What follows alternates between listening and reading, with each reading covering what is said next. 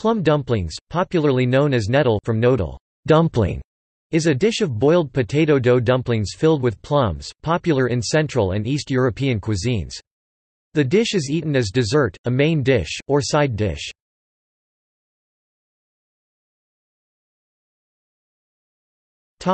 Name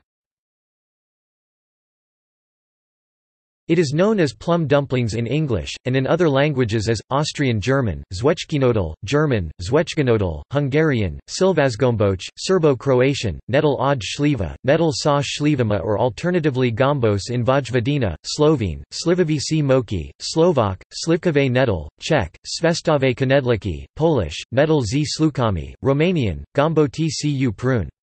It is simply known as knedle in the Slavic languages.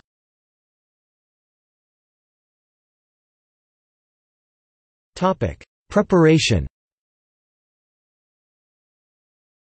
The dough is made with mashed potatoes. Some recipes use eggs in the dough, some flour. The dough is flattened out and cut into squares. The plums are inserted inside the dumplings by hand. Some versions of the dish use noodles instead of potatoes. The preparation can include removing the stone and stuffing the fruit with sugar. The plums are then completely wrapped in dough and dropped in boiling water. When they start floating, they are taken out, sprinkled with sugar, and served. They can also be covered with breadcrumbs fried in butter.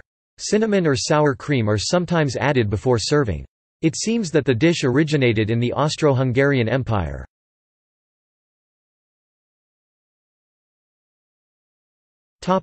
See also